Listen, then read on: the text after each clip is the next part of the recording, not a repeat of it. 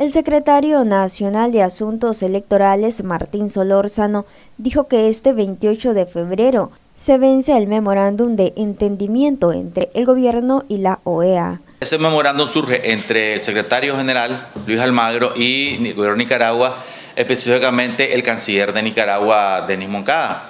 Entonces, ese memorándum recogía todas las recomendaciones que había que hacer en el proceso para depurar todo lo que es el proceso electoral en base a las anomalías que dio la OEA en, su informe.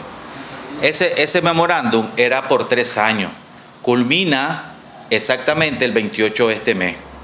Y si vemos nosotros que después de tres años no se han iniciado y culmina el 28, y culmina el 28 ya con la firma final, después de un proceso que iniciaba en el 2017. Entonces vemos que estamos como desfasados.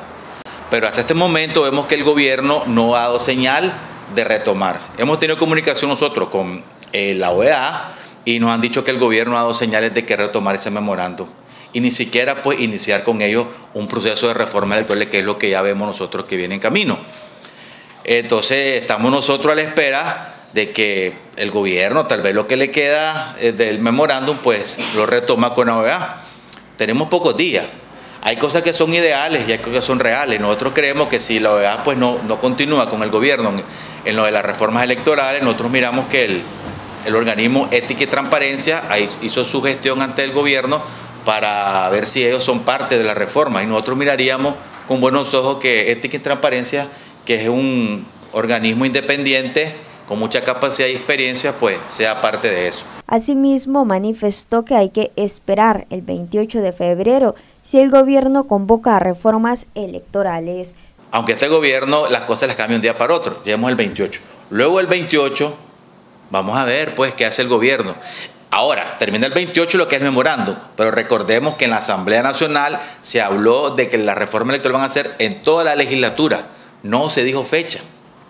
O sea, el memorándum es como, porque ya se vence, pero hay que esperar que el gobierno llegue el 28 y ver si el gobierno convoca la reforma en este primer trimestre o qué porque el gobierno tiene, según las palabras del presidente de la Asamblea, toda la legislatura, lo que él la puso en agenda, pero no dijeron en qué época se va. Claro, hay que presionar, porque no podemos llegar tampoco a diciembre de este año sin reformas, porque tenga que ser una reforma concreta, correctas, que le vuelvan la confianza a la población. Noticias 12, Darlene Telles.